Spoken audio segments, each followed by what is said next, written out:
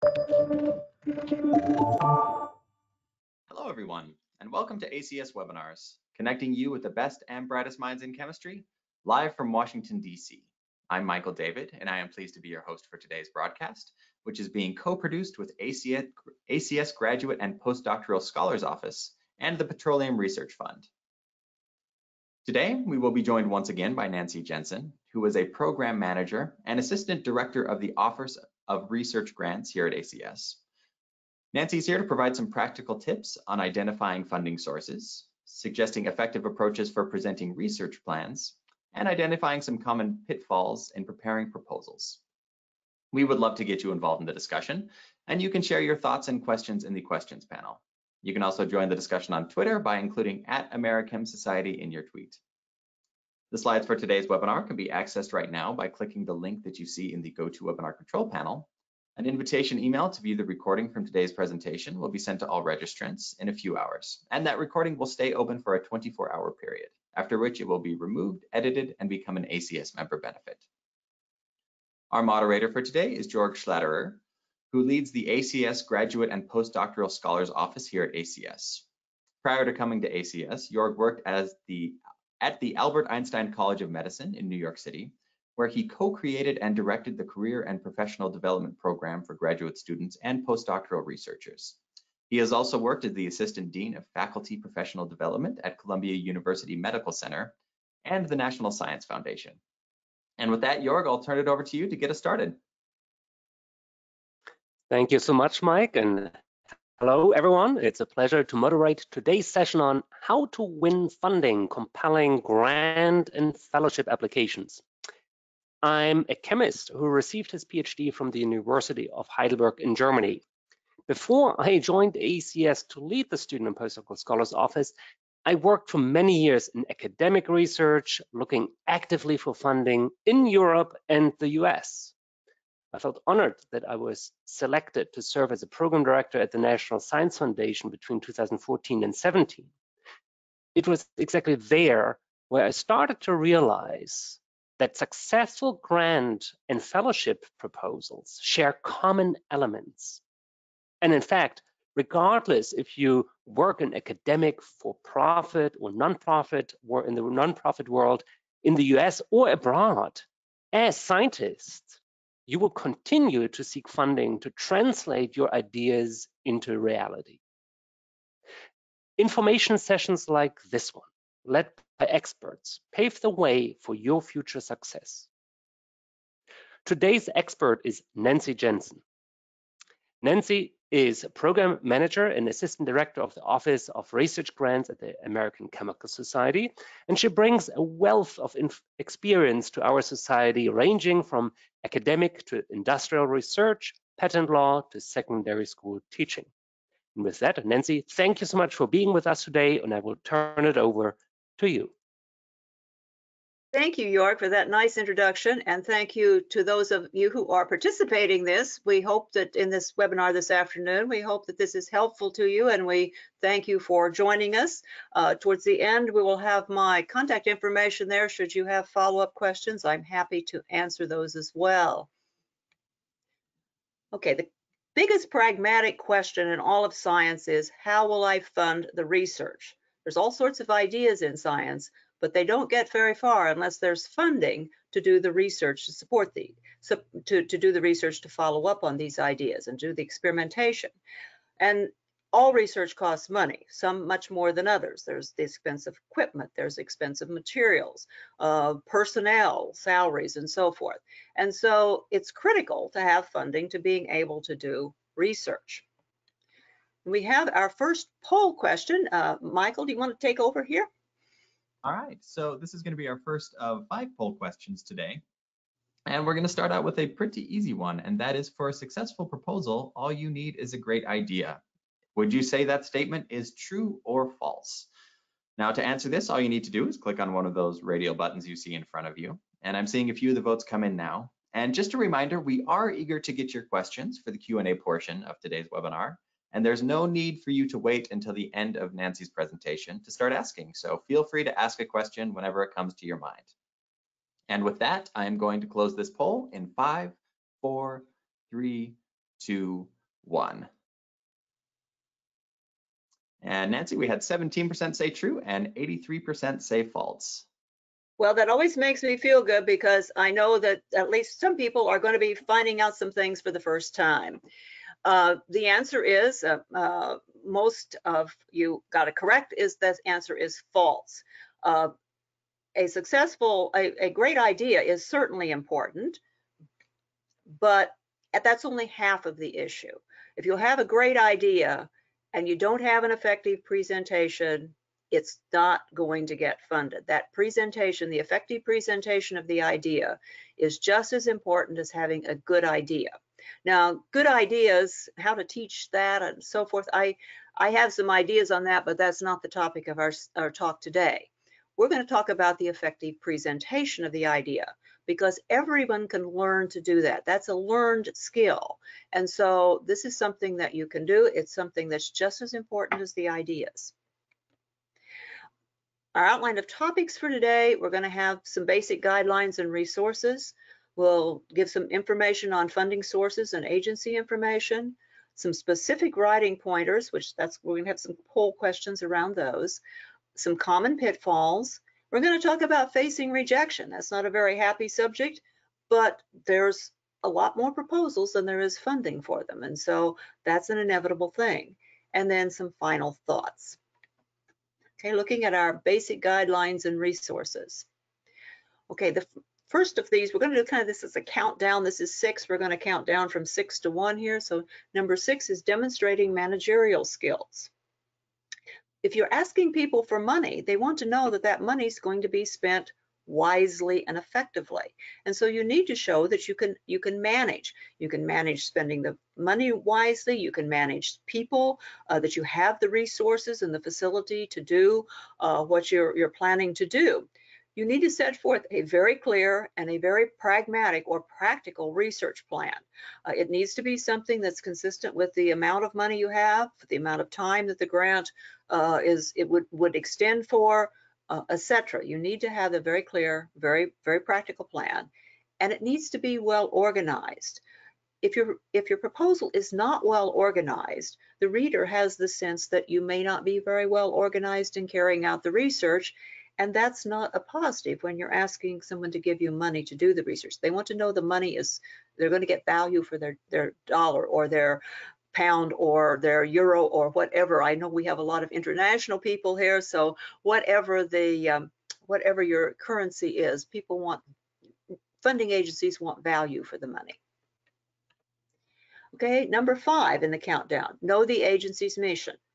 Every funding agent has it agency has its own rules and its ideas and its regulations about what it can fund.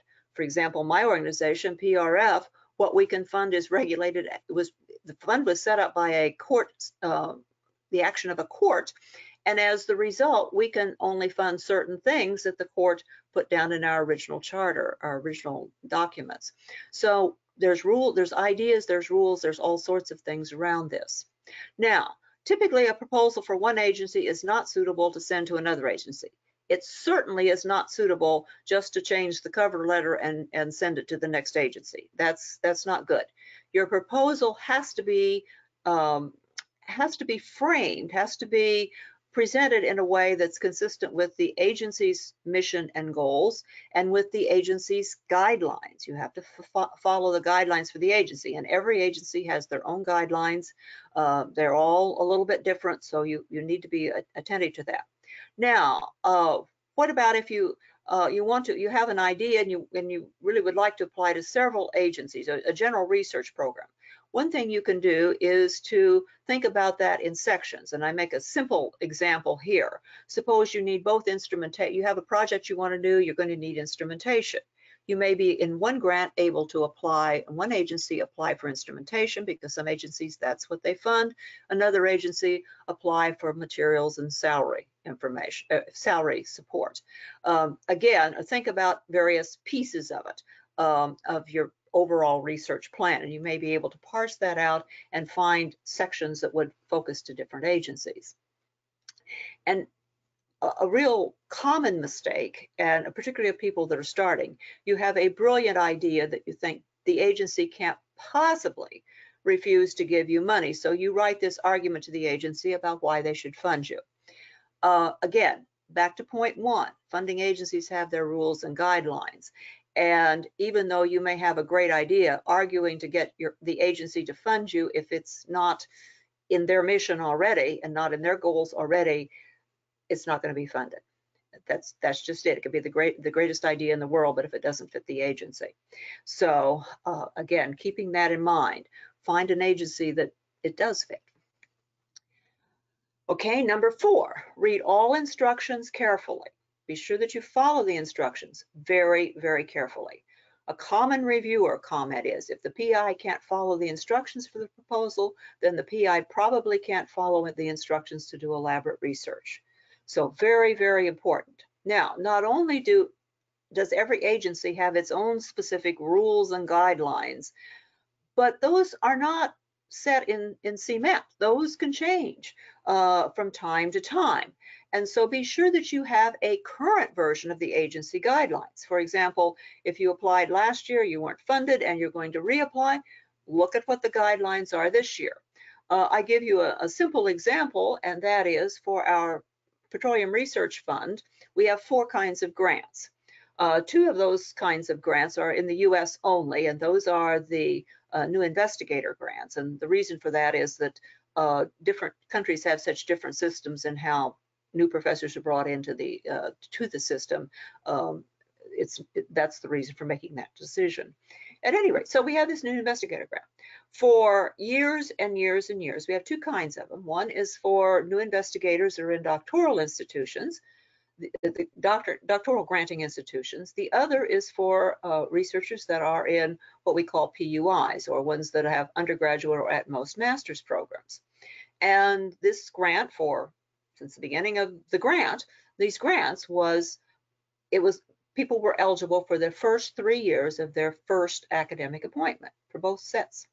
And this last year, uh, the advisory committee that we have for the PRF and then ultimately the ACS Board of Directors elected to change that eligibility guideline for the undergraduate researchers.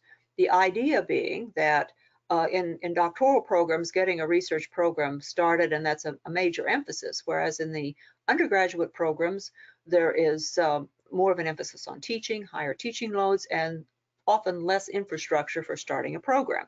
So now, different than it's ever been before, for new investigators in, in doctoral institutes, it's still three years, but for new investigators in non-doctoral institutions, it's um, five years from the first appointment. So again, rules can change, even in the same agency. Be sure you have up-to-date rules and you're following the up-to-date guidelines. Okay, number three, write with confidence, but don't disregard uh, other ideas. Your proposal should convey the attitude that you are, you've identified an important problem, you're the person to work on it, and you're going to get some results out of this. You have a plan that's going to get you to some results. Also important is you need to show that you're aware of previous relevant studies. That does not necessarily mean just studies that support your, your hypothesis if there is literature out there that is negative to what you're proposing to do, you need to address that. This is not, you're not selling something in the sense of persuading, you're trying to present a clear picture and why your research should be funded and why it should work. So how do we handle that? Okay, if there are, if there's literature out there that suggests what you're that what you're proposing is is not uh, is not viable, Okay, one of the things you want to do is distinguish what you're doing from the previous literature. Maybe you can say, in the article X uh, was done in an acid solution, we will be using a neutral solution. Maybe it's as simple as that.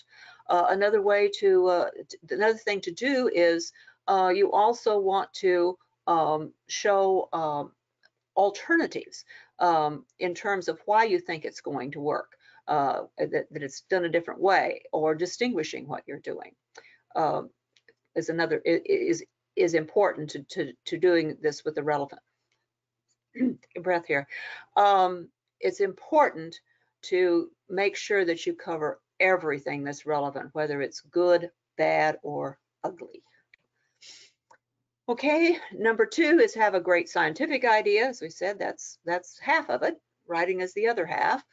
You need one that's novel, that has relevance to identified target, that can be investigated thoroughly within the context of the time and the institutional resources available to the PI. Now, this is my only real comment on novelty in, in terms of coming up with an idea, but I think it's an important one. Novelty often derives from detailed study or observation and understanding of a problem or a challenge. We all do, we all go to meetings, we read the literature, we detailed study is fairly obvious. But the observation one is the trickier one. And that is scientists, even though we're supposed to be people that observe and question and have hypotheses, tend to have the have the tendency to when something doesn't go like it's expected to say, what did I do wrong and try it again. Well, molecules don't read and write. Molecules didn't read your proposal. They don't read the textbooks. They do what they want to do when they want to do it. And so those observations of things that didn't go like you expected them to go are often the key to really exciting research. It happened in my own doctoral program. Uh, I was a very exciting project in which I found that molecules in high, high energy collisional activation, closed-shell ions, high energy collisional activation in mass spectrometry preferentially fragmented as far away from the charge or radical site as possible. Prior to that, it had been dogma. It had been the first sentence in any book about mass spectrometry, that mass spectrometry was the result of fragmentation induced by the charge or radical site. Very exciting project, but absolutely what you didn't expect to have happen at all. And yes, it was tricky to prove it, and there was a lot of synthesis and other things involved in doing it. But yes, it, it has held the test of time, and yes, that is what happens. Uh, other examples, uh, Perkin and the first uh, commercial dye, the, the mauve dye. Uh, again, he was a student. He was not even a professor. He was a student, uh, and, and an experiment didn't turn out right. And in cleaning up the test tube of yuck in the bottom of the test tube, it, he found this beautiful purple color and, and was curious about it, and that led to the first dye. So things that don't work out like you expect can be real, give real insight into some very exciting science. Don't ignore that. Okay, and finally, if in doubt, contact your program officer, preferably before you spend time writing an, uh, a non-compliant uh, proposal. Now, program officers, yes, one of our jobs is to look at the proposals that come in and process them and get reviewers and get them to decision committees and all those sorts of things. Sure, that's that's a, a chunk of our job but we're there as a resource for for PIs and potential PIs. And it doesn't matter whether it's PR, PRF or NSF or any other agency that's a granting agency, they're going to have program officers that are there to help. Now, how can they help you? Well, they're not going to write the proposal for you, but in terms of understanding the rules, remember we said these agencies are very specific in their rules, and it's very important to follow the rules exactly. And so rather than guess at what a rule is meant or what the requirement is, contact the program officer. Uh, again, a major resource, something to be, be used. We also take calls when people are unsuccessful, not to hear them complain about not getting the, the grant, but rather trying to assist them in evaluating, is this worthwhile to reapply? Uh, what, what were the issues, etc., that were problematic? Now, when you talk to a program officer, I shouldn't have to say this, but I do anyway because there's people that seem to not know this from time to time. You need to be polite, respectful, and honest. Do not, do not tell a program officer uh, deliberately mislead them. That will be uh, something that will uh, be problematic to you in the long run. Uh, for a long, long time. And yes, we do find out in various different ways when people have not been honest, and this may prevent you from being able to apply to the agency further, for example. So very, very important. And again, we're facilitators, we're a source of information. We are not the ultimate deciding people. So again, uh, venting is not something that's that's useful. Venting or arguing is not useful. Okay, now when you contact the program officer, uh, again, uh, be ready with your questions if you have questions. If you're looking at wanting to understand the guidelines or the rules better, have your questions ready, but also be prepared to uh, converse with the, the uh, program officer regarding your research objective and why you're applying to that agency, why you picked this agency, how you think it fits. I will tell you in PRF, uh, very often a potential PI's idea of how it fits and how it really fits are not exactly the same thing, but it's a very useful conversation and it will help um, potential PIs refocus their research to uh, be uh, applicable to PRF. Now I have a list of questions here, and if you look at these questions, you're going to say, but these are kind of things I'd like to know. So why am I saying don't, why am I saying don't ask these questions? Well, it's what we call framing your question. It's how you ask. So if you look at this, you'll say, will you fund my research? What are my odds of being funded? You've put it in the personal sense. The program officer isn't going to make the decision. They can't really tell you anything about your specific proposal. But what they can say is, this is a topic that is within the scope of what we fund. This is this would fit in the in the scope of funding of the agency. Um, we can say that the funding rate is typically about 20% for PRF. 20% of the proposals that are uh, come in are funded. So we can tell you information like that. We just can't tell you things to your personal situation. We can give you the general statistics. Similarly with the research, the good research topic, that, that comes under the same sort of thing in terms of we can tell you whether it fits with the kind of research that we fund or not, but whether it would be, whether it's a good topic, uh, that's that's another question. That, that's getting to the scientific merit, and we don't evaluate that. Uh, and then finally, the question about who are the reviewers. Typically, reviewers are kept confidential simply because, first of all, reviewers are very busy people and they've been helpful in giving these reviews, uh, but we don't want PIs calling them uh, disappointed PIs calling them and, and uh, being problematic. So it's in, in some ways a, a way to protect reviewers. And when you become a reviewer, you will appreciate the fact that uh, you don't have PIs calling to argue with you about your review comments.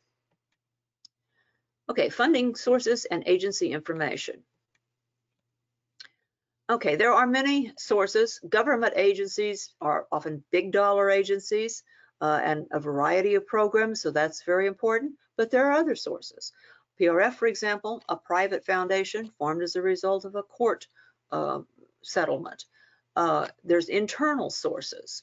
And of course, there's industry. Now, industry, if you're uh, an established researcher, this uh, has a lot more potential than if you're just beginning. Typically, industry will not fund unless it's the person has established some expertise that's of interest to that industry. But once you get yourself established, uh, that can sometimes, if you have an interesting, uh, uh, an area of research that's interesting to industry or a, an industry, it can be very, very lucrative. Uh, you can get very good funding from that. But again, you, you're going to have to establish your expertise before that becomes a big player. We've hinted at this before, but again, your research objective needs to match the agency mission exactly. I mentioned PRF, it's got, because of its, its origins, it's got some kind of interesting requirements. And very often, if the potential applicant were actually to send in their application in what was their mindset, it probably wouldn't be very successful. But very often, I'd say about 85% of the cases, in talking with the potential applicant about what they want to do, we can assist them in framing it or or framing a, emphasizing a, an element of their research that matches with the agency mission. So uh, again, this is a good spot for talking with your um, your program officer to uh, talk about how it fits and very often fits the agency and very often the program officer can help you focus it uh, to to fit even to fit very well. Okay, information on U.S. federal grants. I know we have a lot of international people here. Uh, there's, uh, we have www.grants.gov, and that's a site for all of the different agencies, all of the U.S. agencies, various agencies, and you see them over there on the side, they're various little uh, insignias. All of them have their own sites as well. So that's U.S. another source of finding information is there's a web-based subscription service called Pivot that uh, sometimes library, university libraries or grants offices have a subscription to.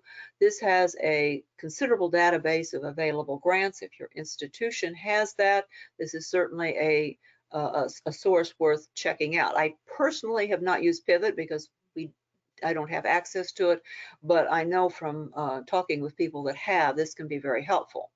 The other item on the other side of the page is just general internet searches. Um, I'm sure that all of you on here are on this call are much more adept on a computer than I am. I am such a dinosaur that I got my first chemistry degree doing my calculations on a slide rule. Uh, handheld calculators did not exist at that point.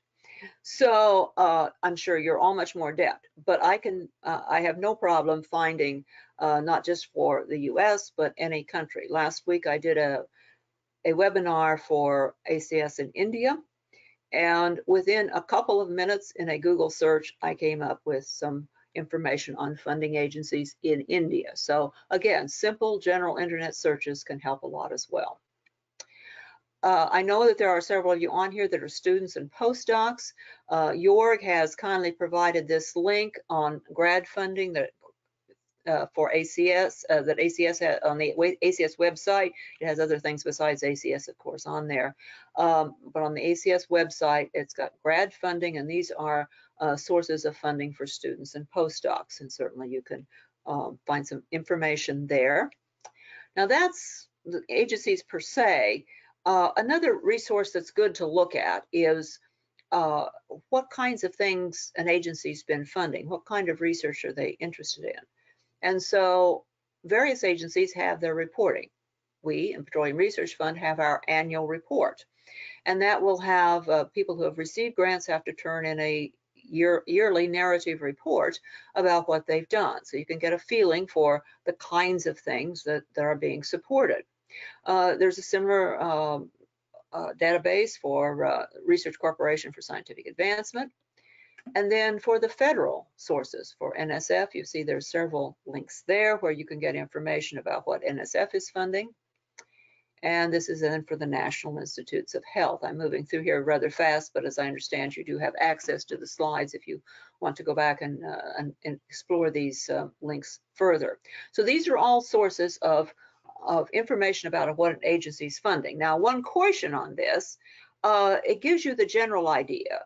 But if you go in there and you see, oh, oh, somebody's gotten a funding on an inorganic chemistry project where they've used ruthenium as a as the metal in a in a complex catalyst, and you say, oh, they've used ruthenium, I'm going to use rhodium there better be a good reason why you do it. It shouldn't be just because it's new, it hasn't been done, does not mean it's good science. And so a little bit of a question about uh, being careful not to do me too science, saying, oh, they did this, you could go ahead and do X, Y, or Z. Make sure that that what you would be going ahead to do is something that's um, that has a significant novelty and meaningfulness, and it's not just something different that hasn't been done before. Okay, now for the specific writing pointers. Okay, so you have the idea, how do we actually go about getting this onto to paper, or, or I shouldn't say into the computer now. Uh, paper writing is, is again, I'm back with the dinosaurs. Okay, we need a clear presentation. That goes back to that very first slide about managerial skills. Need a clear presentation. You're going to need to state the problem of the hypothesis. You know, what is it we're going to, to study? What is it we're going to try to, to investigate? Why is the issue significant? Now, this does not necessarily mean that it's something that's going to save humankind. It means that the issue has to be significant to at least some uh, some discipline of, of uh, science. Um, it, may be very theoretical, uh, but it needs to be of interest at least to some some uh, group of, of individuals. And then what you're going to do. You need to, you're not going to write a recipe like a cookbook, but you do need to be able to clearly articulate what it is you plan to, to do. Now, that's the, that's the key things you need to state. You need to explain how you will carry out the proposed work. Uh, this is going to be, you know, people that the, the resources that you have, uh, how you're going to progress through your studies, etc. you need to address, and this is very, very important, you need to address relevant potential challenges and alternatives. There is no science project that's without with, that that lacks challenges. It wouldn't be a science project. It wouldn't be worth doing if you were sure of what the outcome was going to be. So every project has points that are less certain than others. You need to address those relevant potential challenges and also why you think you can overcome those challenges and or what the alternative is. Now I've spent some time, some extra time on this particular little section here because this is often when you have a stack of 10 good proposals and you have the money for eight grants. This is where this becomes a key factor in deciding who gets the money. Maybe good ideas, but the one who has the better under conveys the better understanding of what their challenges are and how they will work around them. In the competitive phase of getting the money, this is a very critical factor. Okay, and then finally, we touched on this earlier, you need to address the relevant literature. And that's all relevant literature. Okay, state your research objective. Uh, make clear in the first paragraph exactly what this research is about. That is the most important paragraph that you write, and it should very clearly set forth what you're going to do, why you're going to do it, and what, what you expect to get from it. And then you should have a statement of your research, your statement of your research objectives uh, should lead directly to your methodology. In other words, you have a, an objective, how are you going to test that objective? How are you going to follow up and get that? Uh, you need you need to have it clear that there's a, a real plan for how you get from the research objective to the methodology. Okay, and Mike, I think we have another poll here.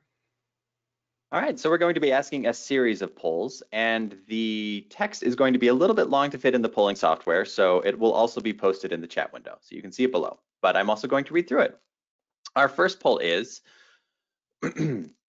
which of the following do you think best conveys the, is the best way to convey the overarching general nature of your research? Is it A, the proposed research is directed to the synthesis of analogs of dimethyl chicken wire a natural product known to have antimicrobial properties. B, the proposed research includes building a library of compounds and testing them for antibiotic activity and cancer prevention properties. Or C, the proposed research is directed to the synthesis of fluorinated analogs of dimethyl chicken wire, a natural product known to have antimicrobial properties. The analogs are projected to have a better bioavailability and accordingly higher potency than the natural product and I can see the results coming in now. I want to give you a little bit more time to enter in what you think uh, the best way to convey the overarching general nature of the research is. And with that, I am closing this in five, four, three, two, one. And on this one, 57% uh, said C, 33% said B, and 11% said A. So with that, I'll turn it back over to you, Nancy. Okay, thank you. So we do have some things to talk about here. Uh, first of all, for those who selected B, um, that's pretty problematic because you really have, have made a very wide statement. We're going to build a library. We're going to test them for antibiotic, antibiotic activity and cancer prevention properties one thing that I often hear from disappointed applicants is the research, the uh, reviewers didn't understand what I was talking about and they, they didn't get it. And then I go back and I read the first two pages of their proposal and they've said, you know, so many cubic um, meters of methane is produced a year. It's been that way since 19 da da da and on and on. And they're wandering all over the place. They don't give the specifics. They've done a hand wave. They've done a generalization. So remember I said the first paragraph's most important. A is not too bad. The proposed research is directed to synthesis of analogs of dimethyl chicken wire, a natural product known to have antimicrobial properties. That's much more specific. That's better. Not too bad. But my favorite one is C. And this is goes back to what I said about that first paragraph being important. We're telling what we're going to do. We're going to direct it towards the, uh, the synthesis of fluorinated analogs. We've said what we're making, fluorinated analogs, synthesizing them. We're doing it because it's a natural product known to have antimicrobial properties. And if we do it and succeed, it's going to have better bio, bioavailability and accordingly higher potency than the natural product. So we in those two in that in those two sentences, we've given a very solid overview of what we're doing, why we're doing it, what we expect to, to have happen. And that's that's the kind of thing we're looking for in that first paragraph um, to get people focused on on where where you're going. Okay, and for the next poll, Mike. All right, the next poll, and again, this has just appeared in the questions window, the full text, um, and I will launch it now. Which of the following do you think is the best way to convey the newness of your idea to reviewers? Would it be A, the proposed research has never been done before and will revolutionize organic synthesis? B, the proposed research provides a new method for functionalization of heterocyclic compounds in a one-pot synthesis using an iron catalyst. Or C, the proposed research provides a novel approach for, to functionalization of heterocyclic rings. And I am seeing the votes come in now. And we'll be closing this poll in just a little bit in five, four, three, two, one. All right, uh, just 2% said A. Uh, the majority at 76% said B and 22% said C. Okay, you guys are good. Um, B is the is the preferred answer. Uh, A uh, is problematic because First of all, your proposal is going to go to experts in the field. The reviewers are going to be experts, knowledgeable. The decision panels are knowledgeable people. And this is a little like we would say, and I know we've got a lot of international people, so I hope this isn't uh, isn't too uh, misleading in terms of uh, an analogy, but the A is what we would call the used car salesman.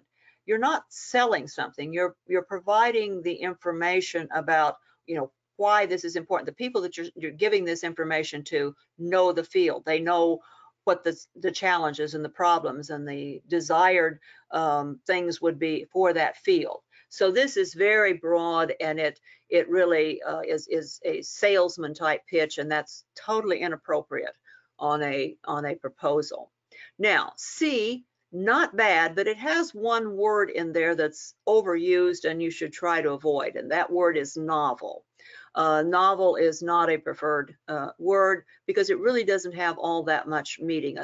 Again, it gets a little bit towards the salesman sort of thing. On B, basically, we're said uh, the proposed research provides a new method for functionalization of heterocyclic compounds in a one-pot synthesis using an iron catalyst. Uh, it's a little bit questionable that I even put new in there because if I'm giving this to people that are knowledgeable in the field, they would know that this hadn't been done before and it's desirable and so forth and so on for these reasons. So again, being uh, more factual, factual, less salesmanship because again, this is going to people that are knowledgeable in the field, that are aware of the field. Okay, Mike, next question. All right, and again, this question is appearing in the text. So this is, which of the following do you think is the best way to start the proposal section on experimental plan?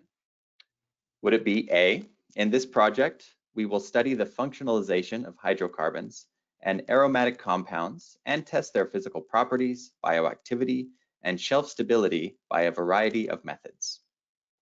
B, in this project, we will study the functionalization of sp3 carbon atoms of aliphatic alkanes, cyclic alkanes, and alkenes.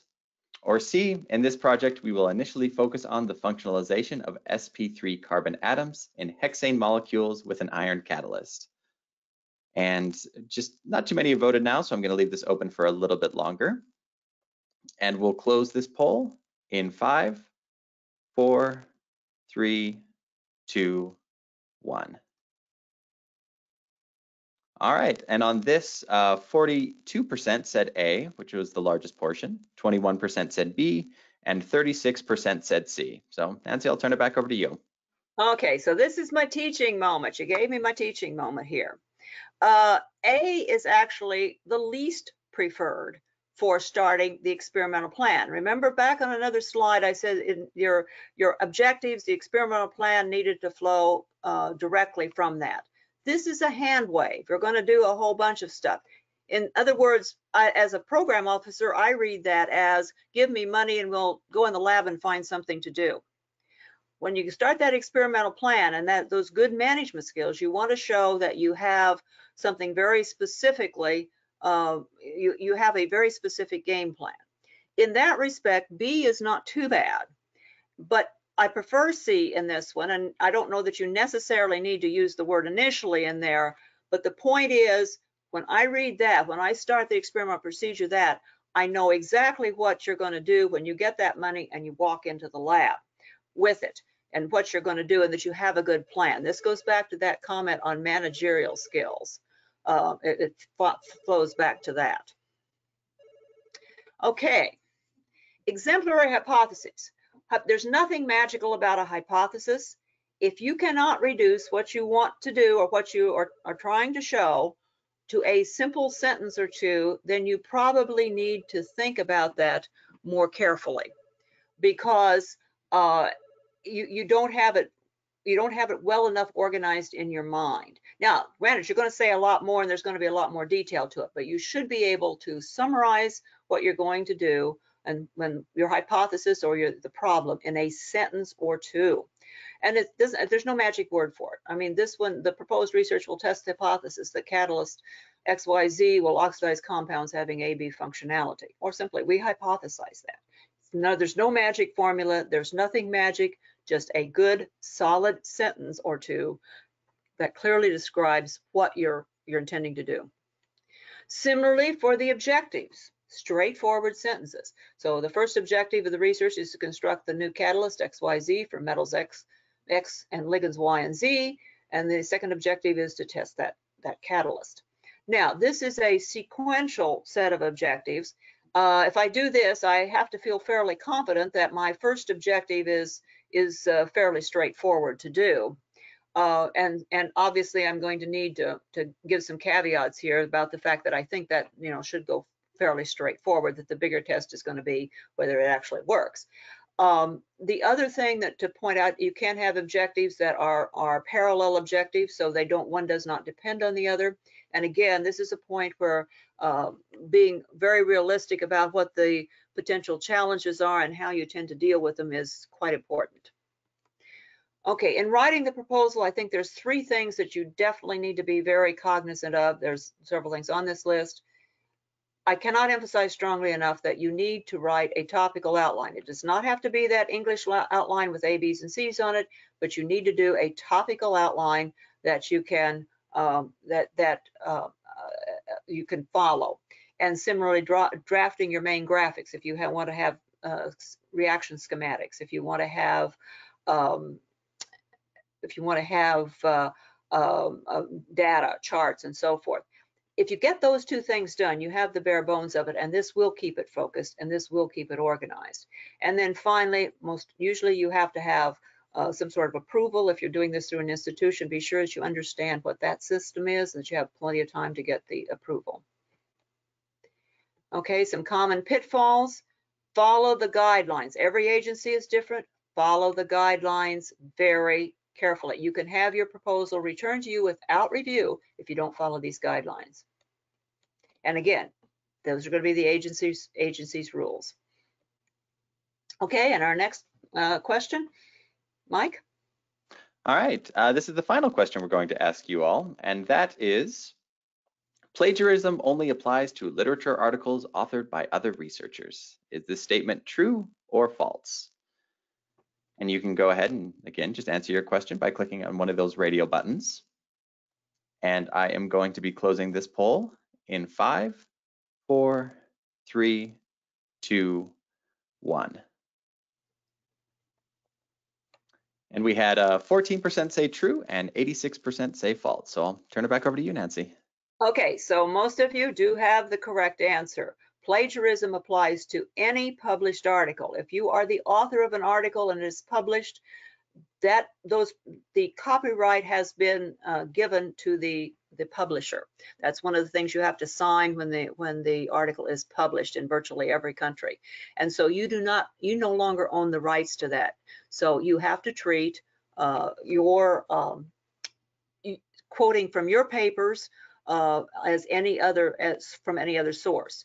Bulk cutting and cut, cut and paste copying from published work is not good. You need to abide by the guidelines of, of how to limit that. Uh, certainly, uh, extensive cut and paste is, is bad. And again, anything that's copied needs to be properly quoted and cited and so forth and so on. Uh, this is something that um, in, in the good old days, was harder to find. Now there are, just like there are in, in pub, there is in publishing, there are many programs that can identify if this is cut and paste copy. So this is this is not you you. It's one thing you can get caught on very easily if you uh, don't abide by this rule. Okay, the reviewing the biography. Did you use the right bibliography? Did you use the right form? Again, each agency has its own form. Don't take the bibliography off of one and put it in the next one. Use the form you're supposed to use. Uh, I throw out this about age of references. Um, basically, if you have a lot of old references, you've got to question the fact of, did I use the right search terms? Is this some sort of research that people are still going to be interested in? Uh, that, that's something you need to think. There may be a good reason for, for, for going ahead with this project, but you need to ask yourself, there's all the references are old, you've got to ask yourself a few questions. And then the number of different research groups cited. If you only cite one or two groups, you've got, you know, 40 references, but they're all from one or two groups. You may be doing Me Too science.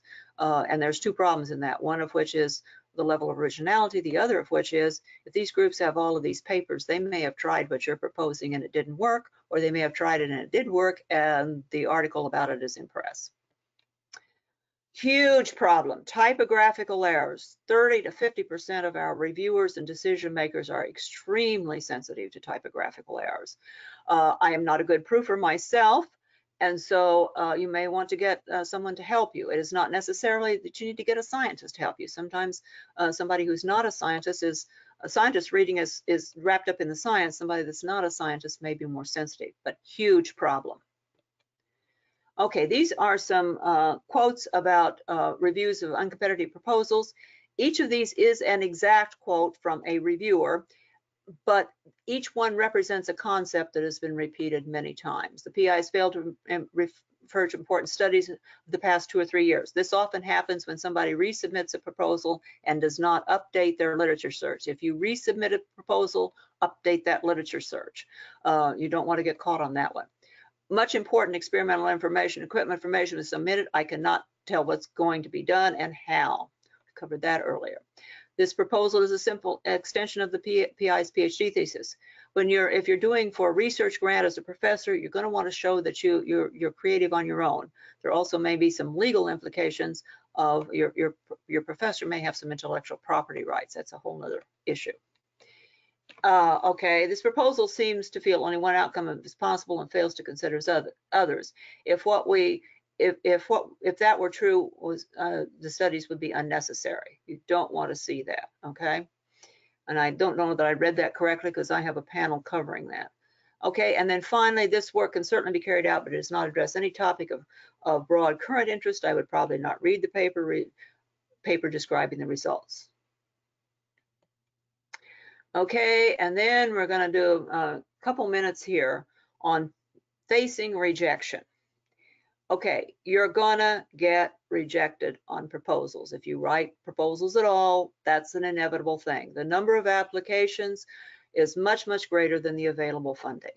And so rejection is a part of life and it's not pretty, it's not happy and it happens to everybody. In my history with PRF, I know of several examples when the people who have no won Nobel Prizes apply and have not received grants um, for various different reasons, some of which is, you know, novelty or uh, or we, we do seed money grants, so it needs to be significantly different from their previous work. So it happens to everybody from the beginner to a Nobel laureate, and you just have to be prepared for that. So Let's talk about facing rejection. There was a nice article written uh, in February 2020, it came out February, 2020 in Nature.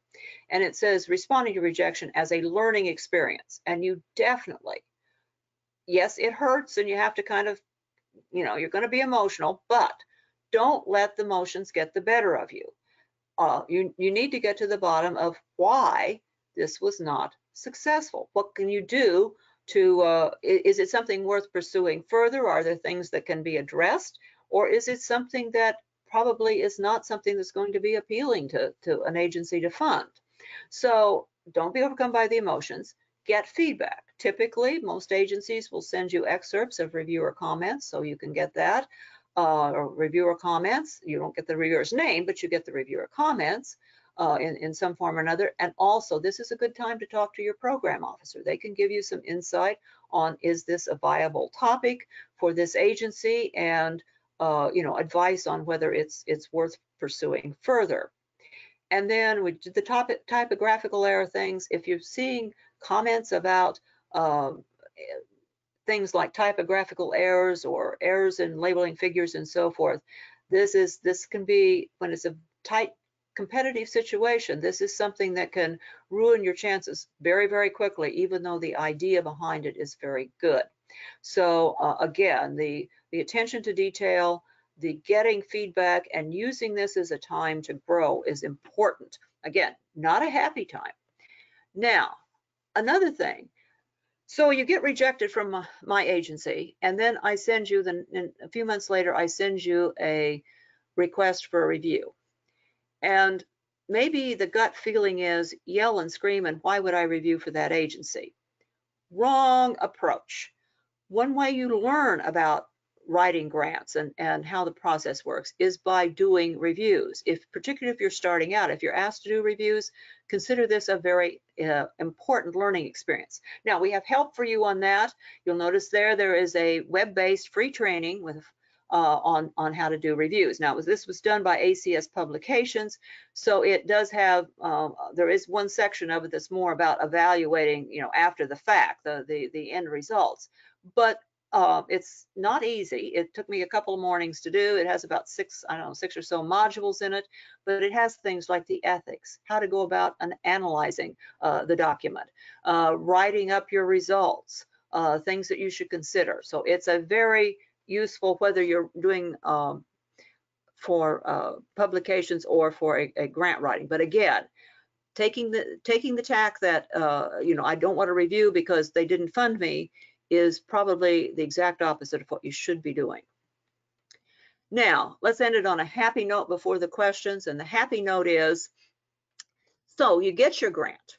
And I had this question asked last week when I was uh, giving the talk, uh, the uh, talk uh, for ACS India, and I had not included this uh, previously uh, in in my discussions. And I thought, you know, this is a great great way to end this because we've given you the downside. Now we'll give you the upside. What does the agency expect when they give you money? It's not give you money and you're out the door and do whatever you want. First of all, the agency expects you to follow the experimental plan and budget set out in your application. So you are expected to follow, do what you said you were going to do. Now, we know things happen. The postdoc leaves. Uh, the first experiments don't work out like you think. You have the lab shut down because of COVID. All these sorts of things. Okay, we know that happens. So how do you handle it? If changes are needed, your program officer is your resource. We work with you to try to work through this. We give extensions. We we help. Uh, you know, we may approve transfer of, of, spending funds in a different way but ask before you do it. Don't jump in and do this and then and then then we find out about it later. Work with your program officer to do that. Now, the third one is extremely important, not to you, but to your institution. Make all required reports in a timely fashion. You will have, depending on the agency, various reports to make. You may have a narrative explaining your research. You may have reports with regard to personnel and funding and all of the, the spending of the money and so forth. Now, I say it's important to you and your reputation and getting further grant. But if you are negligent in turning in your reports, it may impact your entire institution's ability to get grants. So this is extremely important to be be punctual about this, to, to, to take this very seriously and do as and finally, uh, we hope you have publishable results and we'd like to see those published. And on that, I will turn it back to you, Jorg, for questions.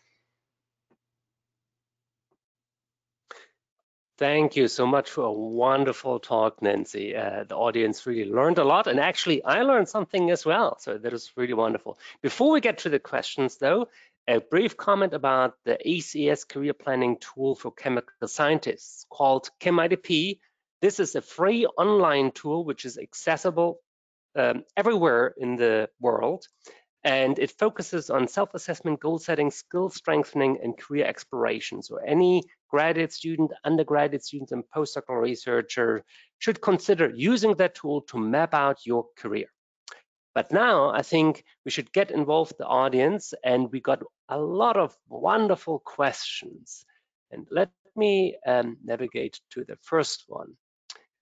Um, Nancy, early on in your presentation, you pointed out that it would be very important to describe or to, to highlight that you will be able to manage your grant, right? Manage the budget, etc. How do you actually demonstrate in a proposal that you have very good management skills? Well, first of all, it's going to be, the proposal is going to be well written and laid out so that one can understand, reading it can understand that you have a plan. The plan is plausible, it's believable that you will get the results with, with what you're planning to do.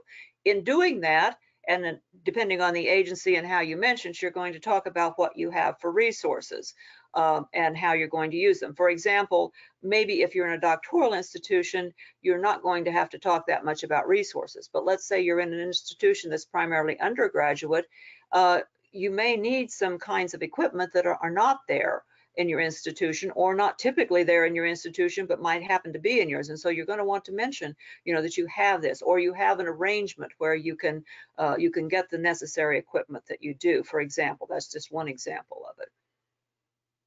Thank you, Nancy. We have another question which basically asks, I don't have research results published in a certain area, but I would like to apply for funding exactly in that area. Is that a problem? And how could I convince the reviewers to fund this type of research if I don't have necessarily published in that field yet?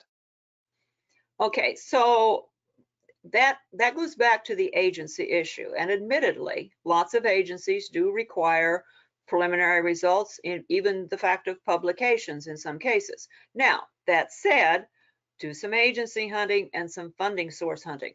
For example, PRF, uh, my agency, we give what we call seed money grants and preliminary results. Not only not, we don't need publications. In fact, uh, you probably wouldn't get a grant if you had publications in the field, okay? Uh, we're looking for people that are have an idea, they have a plan formed, and they need the so-called seed money to start that initial research. And again, that's how our agency does it. So look at your what the agency requirements are. They vary from uh, in various different ways. Uh, sometimes, and uh, a possibility is um, maybe uh, what you're looking at is some internal funding or some small funding, like maybe the the Lions Club or the Rotary Club of, of, has a small grant that can give you some funding. Uh, this is particularly if you're in a small school, can give you some funding that will get you started. So uh, search for search for money. It may not. Uh, yes, apply to NSF. You're probably going to need all of this, but there are other agencies with different missions, and and uh, again, find your agency. That is wonderful advice. Thank you, Nancy. Since you mentioned PRF, uh, there's one question specifically for PRF. Can an assistant professor apply for the ACS PRF funds and what is their success rate currently? Okay, so if they are tenure track, no problem. If they are in an institution which does not have a tenure system, then we do have uh, some alternate options there, but but they'll need to contact me to contact us to, to get that information, okay? So, but if you're tenure track and you're an assistant professor, uh, uh, then then you should be eligible for PRF funding. Um, and the second part of that question, Jorg? Success rate. Success rate, okay. So we run at about 20% actually in our most recent meeting, which was last week. Uh, we're up a little over 20% uh, in, in funding. And this is a very good uh, success rate actually in comparison to other funding agencies. So um, keep PRF in mind as you plot your path forward. Thank um, you for advertising, so, we got actually a couple of questions from individuals that are concerned about bias in the review process. Could you talk about how program officers try to avoid bias among reviewers when they review proposals from individuals that come originally from, for example, developing countries or far away from the country where they're doing right now research? Okay, first of all, um, in our, if you if you look at the list of people in the last two or three years that have gotten grants from PRF, if you look at just simply looking at the list of names, you can see a tremendous diversity. Okay, tremendous diversity. Um, and and we we point that you can see that by you know looking at the annual report. So we have a considerable diversity to begin with. Now, where are we going to go to get reviewers? We ask people suggest reviewers, so that's one source. Uh, we try to, ideally, we we ask both reviewers that that the PI suggests for our agency. Reviewer can suggest some. We will we will pick uh, some from what the reviewer the PI suggests. We will pick some that what we suggest, and we use a variety of people. Uh, we use people from again um, people who have applied before, people who have been given in, names by uh, into our database, maybe from previous uh, submissions. Um, we also use, uh, I use a wide variety of expertise in terms of development in the career. I think it's, I think it's very important um, for uh, people that are beginning to have that experience. And so I use a lot of reviewers that are maybe it'll be their first review or they're very new to doing this and I use other reviewers that are, you know, very established people. And I think you'll find that in the uh, younger set that probably it's uh, are a little more open to the concepts of diversity than some of the old graybeards. So that's one thing we're we're doing there. The other thing about it is, I think it's you say, well, you know, you're trying people out on this how does that how does that give me good reviews i think it gives you better reviews because the person that's well established in the field has been there a long time they certainly have a wealth of knowledge and experience and all of that but the person who is new to the field has a is probably been closer to the bench so they have a little better understanding of the practicality of it and they understand uh, a little more about some of the challenges. So I think you, it both both ends benefit by making a, a diverse uh, thing. If we do have, and I will say it in terms of diversity, uh, we say we give back the excerpts. We do screen the review comments for um, for things that are inappropriate. Um, that, that are said. And that happens very, very rarely that we find something we certainly that would not go back to the individual. And if it's something that, um, again, is is uh, very obvious at all, we'll make a note in our database, and that person will not be invited to be a reviewer again. Thank you. The next question goes actually uh, targets the heart of the grant proposal, the idea, right? So how does someone know that the scientific idea is novel enough and has the potential to get funded. Do you have any suggestions, any ideas how to be sure that your idea is resonating with reviewers or uh, with the agency? Okay, I think there are several steps. One of which is this is a good question to raise with your program officer. Uh, is this something that the, you know, we, we're seeing an interest in in the agency? Or is it something that has been talked about so many times that we're seeing some kind of fatigue on this, if you will. Um, we we sometimes have, um, as we've seen, a zillion CH functionalization uh, proposals, and yes, some of them get funded, but it has to be something that stands out fairly significantly to be funded because we see a lot of CH functionalization. Um, uh, proposals coming up. So so that's that's one thing that you're you're looking at. Um, you're obviously, you know, being knowledgeable in the field uh, is important. Uh, if you've if you've done your homework and done a good literature search, then you should have a sense of what the big questions are, what the good problems to solve, what needs to be done. So I think literature, uh, talking with your program officer, good literature search, I think those are key uh, things. Attending meetings and hearing talks and that sort of thing is a way to to get a, a feeling for um, the level of the state of the art, if you will. And if I just may add, you pointed that earlier, every funding agency or many funding agencies have a database of recently awarded grants with abstracts. So to get a flavor of what others have submitted and which caliber of research they proposed, I would really recommend to go to those abstracts to get a flavor of what was funded recently and compare the quality of uh, that uh, proposed research idea to the quality uh, of the research idea that you have uh, developed. Yes, that's a good point. Um, good point, Jorg. Then, thank you. Let me ask you about plagiarism. Hmm. So what are the plagiarism risks of disclosing your idea and methods in a proposal or an application? Well, I don't know that it's really plagiarism so much as it is outright scientific ethics violation. Uh, typically, when a reviewer is asked to do a review, uh, they are um, they are given when they're given the, the, information it's made clear to them that it is proprietary information that they are not to share it they are not to keep a copy etc etc etc now is everybody in the world honest and perfect and decent unfortunately the answer is no.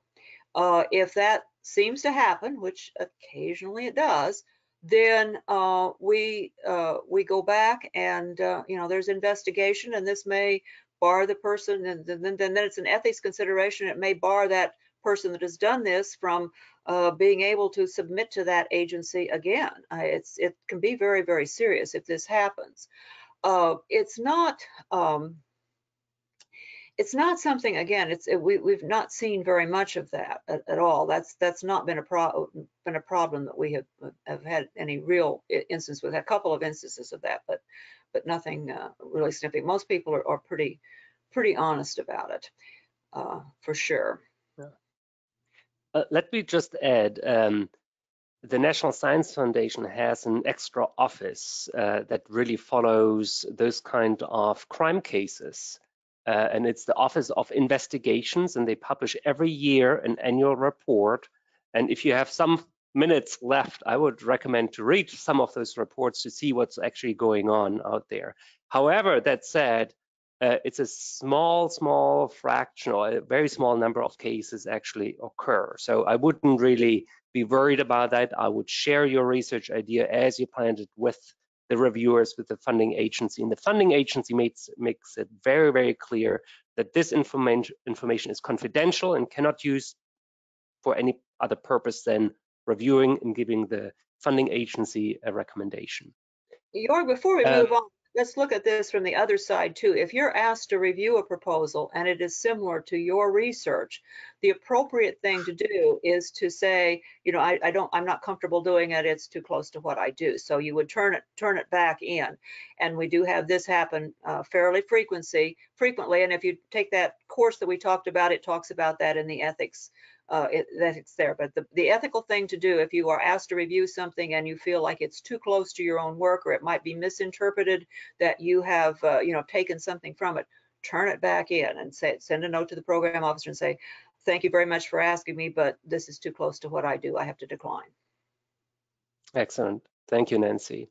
So here's a question from someone who lives abroad and considers applying for funding here in the United States.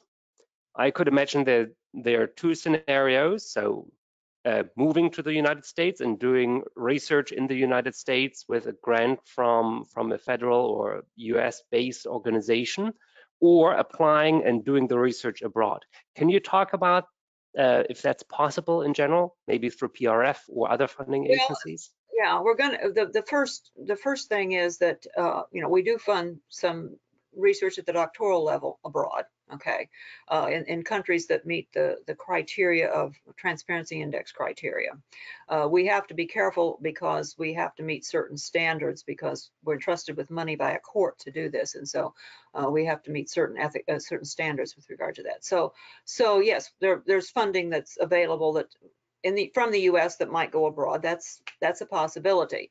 Uh, the other thing that might be uh, appropriate too to say is that, for example, with PRF, and I think it's probably true for NSF and so forth, you may be able to work in the US on a grant um, that is, is a US funded grant. If you're in a lab in the US, there's no requirement that we have that you have to have citizenship or status if anybody in the lab can be, any, any student in the lab can be paid. So uh, it kind of depends on the kind of grant you have uh, and what you're asking for. Other things like some of these travel grants and those kinds of things, then again, what, what's the criteria of the grant? Yeah. No, thank you. Wonderful answer. Um, uh, we have many more questions, but I also want to be mindful of the time. So let me ask you one about the bibliography. So you, you mentioned it's important to have uh, really current references or uh, current bibliog bibliog bibliography, sorry for that. Uh, so how old is old when citing in a bibliography? Okay, I've seen things clear back to, uh, oh my gosh, I've seen I, have seen things go back to the 1800s in the bibliography, and that may not be bad. But if all your references are from 1800, this is a problem. So uh, it, it, consider the context of it. What I what I'm concerned about is if virtually all your references are old. Uh, having a few old references is is not bad. It's it's what's relevant to the topic. And one reason uh, why you might want an old reference, and I give this example sometimes in my talks, um, is that sometimes there's a pro there's been research in the past, but it's kind of come to a standstill because you don't there, there's something that's that seems to be insurmountable. And now you have a technique so that you can overcome that difficulty. And, and so that's very important that you cite that old research and, and what happened and, and why you can overcome it. The example I give for that is, is the time of flight mass spectrometer. It was the first mass spectrometer discovered in about 1900. And it was nothing more than really a toy of physical chemists until about 1990. And the reason for that is everybody knew how it worked. It was quite simple, but you had so many ions coming down that test tube, or that flight tube, test tube, flight tube. You had so many ions coming down that flight tube. Having a detector that could pick them up and a data system that could collect them, uh, other than if you were doing something, uh, you know, a gas phase, very simplistic thing, uh, that it was not useful at all. And so in about late 80s, early 90s, well, we had a couple things happen. We had the um, the MALDI desorption technique, and lo and behold, about this same time, we had mass. I actually worked in my postdoc on the pre, pre, uh, predecessor of the MALDI instrument, okay? Um, and it was called the llama, and it was about as stubborn as the animal, I will tell you that. But the problems were, what happened was we got better detectors, and we got high-speed computer systems. And so now this is a workhorse in the system because it we now had we overcame the problem. So if it's old literature and and it's something that's you know a problem that's now overcome, this is this is great. So it doesn't necessarily mean old's bad. And also, it doesn't mean that you cite everything from A to Z. Cite what's relevant. It may be some or two or three pieces of literature that are quite old that are relevant to what you're doing, but bring that up to date. Don't don't don't dwell in the past unless you have something that's going to revolutionize uh, where you were. Excellent. Thank you so much, Nancy. Uh, thank you for answering all those questions. Thank you for a wonderful presentation. And uh, before we close our session, actually, I'm wondering if there's one important lesson that our listeners should learn from your presentation today. What would that lesson be, Nancy? Well, I think the really important thing is that, first of all, how you write up your proposal is just as important as your idea. That's that's absolutely central to this. Uh, is the fact the importance of that, and then, and of course, I can't leave with just saying one thing. The, the program officer is a resource for you, and you'll see here the slide coming up about my my staff uh, and I and our contact information we are a resource for you. And it doesn't matter if it's PRF or NSF or whatever the agency is, use that resource because that resource can be very helpful to you in getting an effective report, making sure you, you follow all the rules, etc. And thank you all for your attendance and Jorg for your wonderful help. Well, I'd like to thank you all for joining us today and also invite you to join us, uh, join us for our free upcoming broadcasts. Uh, tomorrow at 1 p.m. Eastern, we will begin a series highlighting the frontiers of chemistry research that is being co-produced with the ACS Committee on Science and ACS President H.N. Cheng. Our first broadcast will feature Prof Professor Zhenan Bao of Stanford University and her work on the skin-inspired organic sensors, which may change the way that humans interact with electronics in the near future. On Wednesday, June 2nd, we will be joined by a leading panel of experts in artificial intelligence who are going to provide a unique bird's eye view of AI in chemistry and a panel discussion on emerging trends across industries that can drive better outcomes for your teams. And finally, on June 3rd, we will be returning with our biannual discourse with Paul Hodges of the New Normal Consulting and Bill Carroll of Carroll Applied Science they are going to feature how shifts in production, demand patterns, and geopolitics are reshaping the chemical industry. We would love to hear what you think about our program. You can reach out to us through the ACS social media channels on Facebook, Twitter, LinkedIn, or by email at acswebinars at acs.org. We are also curious to hear what you thought of today's broadcast, and a short survey will pop up directly after the webinar that will just take a minute to complete. Also remember that the invitation email to view the recording from today's presentation will be sent to all registrants and it will be open for a 24 hour period, after which it will be removed, edited, and become an ACS member benefit. And that wraps up our program for today. On behalf of all of us here at ACS, thank you so much for joining us. We hope to see you again tomorrow.